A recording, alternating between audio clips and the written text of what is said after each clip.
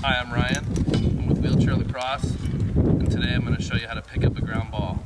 If you're thinking about throwing the ball with your right hand, there's a couple different ways you can do that. The easiest way is going to be to have your crosse in your left hand, scoop it, and then bring it over your body this way so you're ready to throw it. The other way can be done is if you want to pick it up and you want to keep the crosse in your right hand, then you're going to be able to still pick it up and then just turn it and then here you are ready to throw it like that. So if you're throwing the ball with your left hand, same kind of thing, opposite, here it is, pick up the ground ball, bring it back, and you're ready to throw. Just picking up a ground ball, throwing it. I'm Ryan with Wheelchair Lacrosse. Thanks.